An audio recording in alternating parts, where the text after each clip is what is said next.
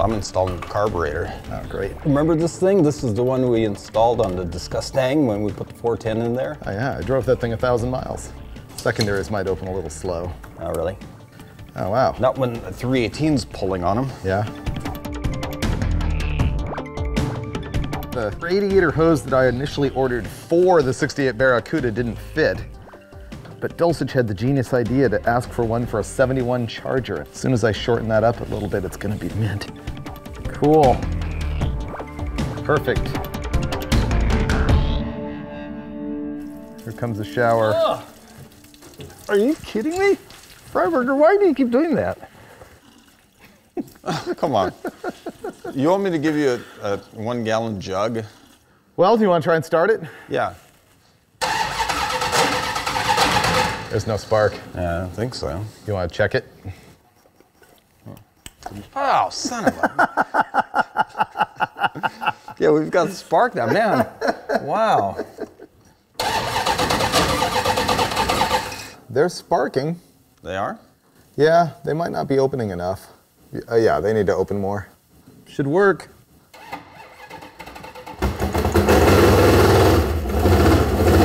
Oh, shut it off! Remember the transcooler lines are still unplugged, Oh, yeah. But it runs good. Yeah. All right, are we done for the night? Yeah. Driving it tomorrow? Yes. See? We lived up to every commitment on this episode.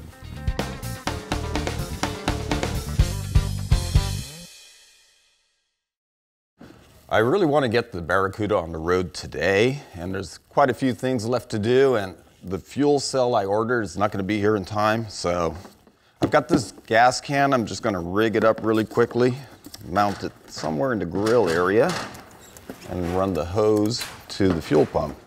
For some reason, aftermarket shifters are like kryptonite to Dulcich, and so he made me promise that I would install this thing first thing this morning while he's going to do everything else on the list. It's not a fear of the aftermarket shifter, it's just that you're so good at it, Freiburger. Oh, thanks. Yeah.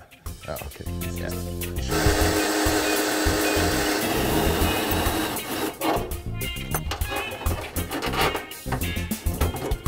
There we go. Boom. All I have to do is crawl under, attach that to the shift linkage on the transmission, and then I'll be able to figure out where this shifter goes, connect the cable, and then spend like three hours fiddling with it to make sure it gets all the gears. Well, the original seats in the Barbecuda went up in flames, so I had to find replacements. I didn't have a complete set of the correct low back bucket seats. These are high backs, which didn't come out until 1970 in the A body, but I think they'll fit the car. So I'm just gonna give them a little bit of a cleanup. They're in pretty good shape, and uh, hopefully they'll bolt in. Hey, Freiburger, Yeah. look what I have. Oh, those are like new. Oh yeah, they're in good shape. Wait, were those mine? Nope. Are you sure? Yeah, I pulled them out of the crop duster when I first got it. Wow, this is great. Yeah. Install it. Okay. Oh. Oh, Freiburger, that's a fit. How's the shifter position? It's great. Yeah. Okay, ready? Yeah. Did you adjust the torsion bars? To perfection. Oh man, nice, Freiburger. Let's get out of here. Let's put the hood on and leave. These hinges have no spring to them, so